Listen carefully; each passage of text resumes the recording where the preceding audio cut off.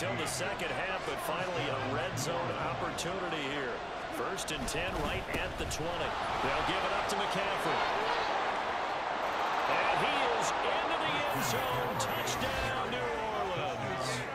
Christian McCaffrey, his third rushing touchdown of the year. And the Saints have taken the lead as they go right down the field and score on the opening drive of the second half.